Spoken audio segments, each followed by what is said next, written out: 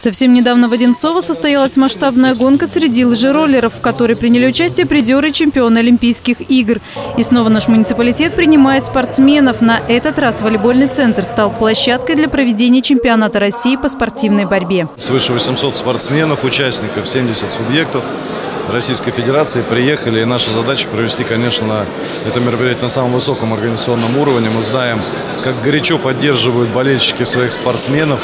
Э, и наша задача обеспечить э, им комфортное, безопасное пребывание на территории этого современного спортивного дворца.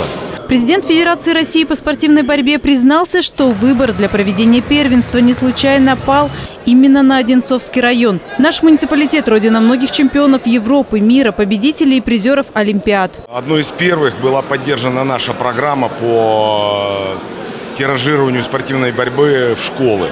И она была и губернатором поддержана. Это настолько сегодня эффективно. А огромное количество детей с удовольствием э, посещают эти уроки спортивной борьбы. Ну и даже если они не станут все чемпионами, то тем не менее они пройдут через э, такой настоящий э, труд, э, получат хорошую школу.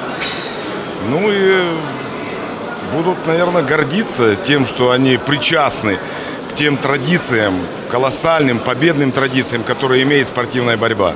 В течение недели будет проходить чемпионат России по спортивной борьбе. Спортсмены из 70 регионов страны будут бороться за звание лучшего в своей категории. У нас э, Одинцовский район культурной столицей является и спортивной.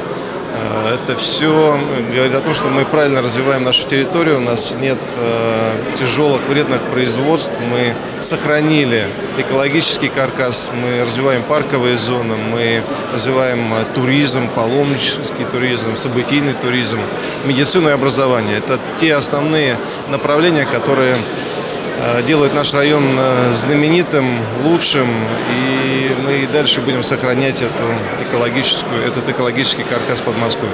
Совсем немного времени остается до отбора чемпионов для участия в Олимпиаде, поэтому спортсмены стараются выложиться на все 100, чтобы обеспечить себе место в сборной России по спортивной борьбе. Мария Шматкова, Артем Ломоносов, телекомпания «Одинцова».